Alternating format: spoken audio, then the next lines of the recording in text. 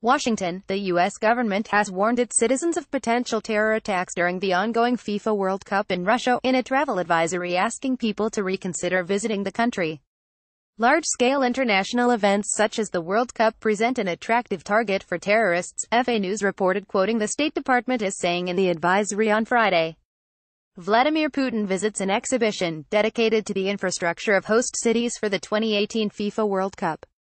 Reuters, although security for the World Cup will be extensive, terrorists may seek to attack event locations such as stadiums and FanFest viewing areas, tourist sites, transportation hubs and other public venues, it added. The World Cup aside, terrorist groups continue plotting possible attacks in Russia.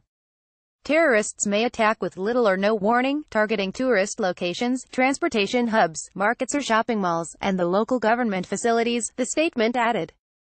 For all the cited reasons, the U.S. maintained the alert level for Russia at 3, on a scale of 4, which also applies to countries such as Cuba, Pakistan, Turkey, Honduras and Nicaragua, for which Washington recommends its citizens to reconsider their plans for travel. Besides potential attacks, the U.S. observed that in Russia, U.S. citizens are often victims of harassment, mistreatment and extortion by law enforcement and other officials. Updated date, June 16, 2018 8.21 p.m.